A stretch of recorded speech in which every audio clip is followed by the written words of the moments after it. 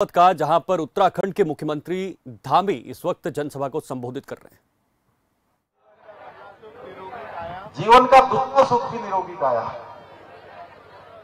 और तीसरा सुख निरोगी काया और चौथा सुख भी निरोगी काया और जीवन का हर सुख।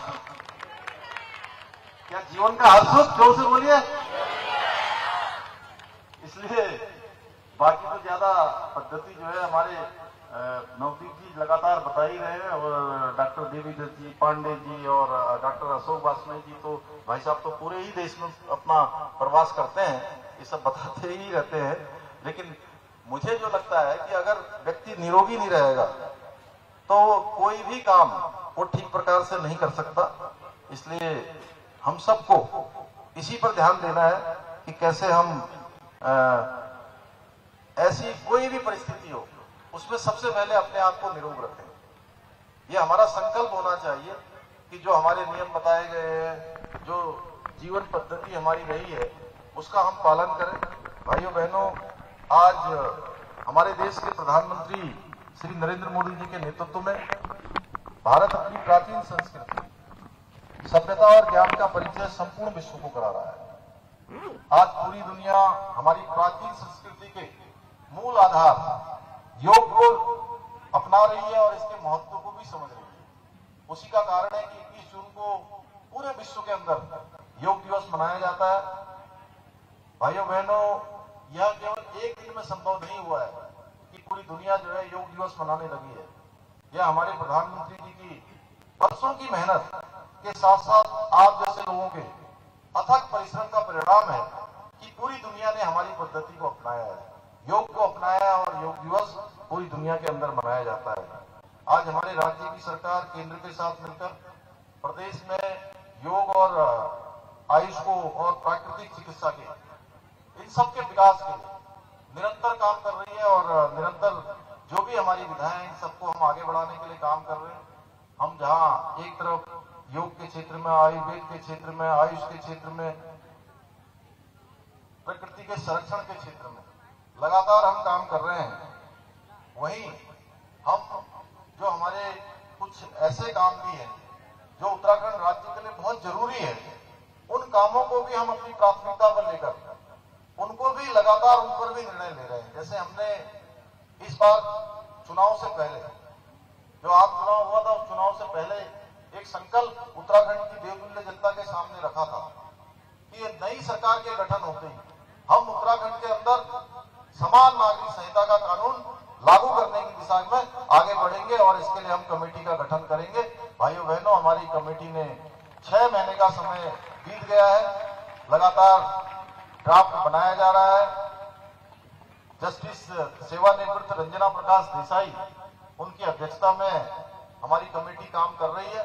ड्राफ्ट बन रहा है। जैसे ही वो ड्राफ्ट बनकर तैयार हो जाएगा, हम उसको उत्तराखंड के अंदर लागू करेंगे।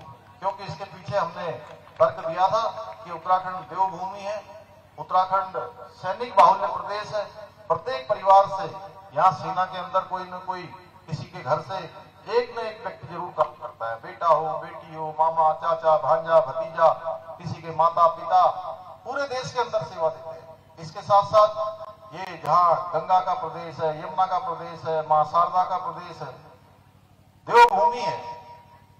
और दो दो अंतर्राष्ट्रीय सीमाओं से लगा हुआ हमारा राज्य तो हमने कहा कि यहाँ सबके लिए समान कानून होना चाहिए। किसी धर्म का हो, किसी पंथ का हो, किसी समुदाय का हो, कहीं का भी हो।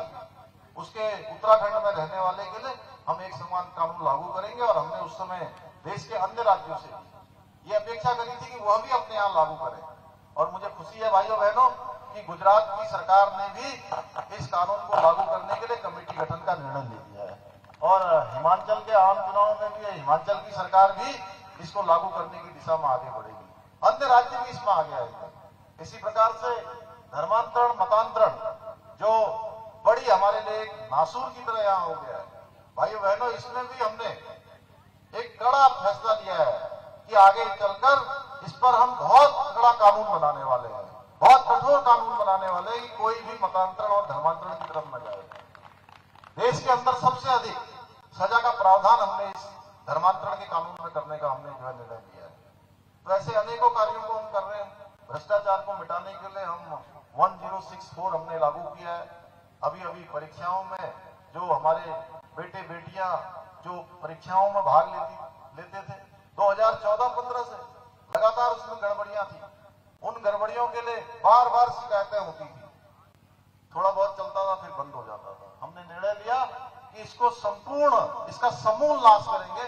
और इनके सबका जाँच का निर्णय लिया इसमें जाँच बनाई 45 लोग इसमें गिरफ्तारियाँ हुई, पैंतालीस लोग। और इतना ही नहीं, हमने कहा कि हम एक इसमें एक, इस प्रकार का एक उदाहरण रखेंगे कि आने वाले समय में कोई भी, ये काम करना तो ये इस प्रकार का अपराध करना, नकल कराना, पर्चा लीक करना, पेन ड्राइव से जो है, पेपर देना, यह सब करने की बात तो बहुत दूर की बात है। दिशा में सोचना भी सोचना भी उसके लिए बहुत मुश्किल का काम हो। कोई इस प्रकार का काम ना कर पाए, इसलिए हमने कहा कि जितनी कठोर से कठोर कार्रवाई हो सकती है, इस पर कठोर कार्रवाई करेंगे। क्योंकि भाइयों, बहनों, मैं जानता हूँ, मैंने सामान्य स्थितियाँ और सामान्य परिस्थितियों में ही मैं भी आप सबके बीच से निकला हूँ। और मैं जानता हूँ, एक गरीब माँ बाप के बेटे के बेटी के पास अगर कोई धन होता है, कोई पूंजी होती है तो वो केवल और केवल शिक्षा होती है। अगर उसमें भी लूट मच जाए, उसमें भी डाका मच जाए, उसमें भी इस प्रकार का अपराध हो जाए तो उनके पास कुछ नहीं बचेगा। इसलिए हमने निर्णय लिया कि तत्काल इसकी जाँच के साथ साथ जो परीक्षाएँ होने वाली थी, सात हज़ार परीक्षाएँ, उन सात हज़ार की सात हज़ार परीक्षाओं को जो अधीनस्थ सेवा चयन आयोग से जहाँ गड़बड़ियाँ हो रही थी, उसका हमने ट्रांसफ़र करके लोक सेवा आयोग को दे दिया। सितंबर माह में हमने फैसला लिया, अक्टूबर में उसके विज्ञापन जारी हो गए। दिसंबर माह तक सारे के सारे सात हज़ार पद भर दिए इसके अलावा उन्नीस हज़ार और जो हमारी रिक्तियाँ खाली हैं, हम उन पर भी जल्दी भर्ती की प्रक्रिया करने वाले हमने ग्रामों को मज़बूत करने के लिए, अन्य क्षेत्रों को मज़बूत करने के लिए, हर क्षेत्र में हम काम कर रहे हैं। आने वाले समय में 2025 में, जब हमारा राज्य 25 साल का होगा, तब तक हम एक ऐसा रोड मैप बना रहे हैं कि हमारे राज्य के अंदर, चाहे वो प्राकृतिक चिकित्सा का क्षेत्र हो चाहे वो आयुर्वेद का क्षेत्र हो चाहे योग का क्षेत्र हो शिक्षा चिकित्सा कृषि हमारा रोडों का क्षेत्र हो पर्यटन का क्षेत्र हो बागवानी का क्षेत्र हो हर क्षेत्र में तो ये इस वक्त मुख्यमंत्री धामी चंपावत में जनसभा को संबोधित कर रहे थे। आपको बता दें international naturopathy and yoga conference में इस, इस कार्यक्रम में जो है मुख्यमंत्री धामी हिस्सा ले रहे थे और जनसभा को भी संबोधित कर रहे थे।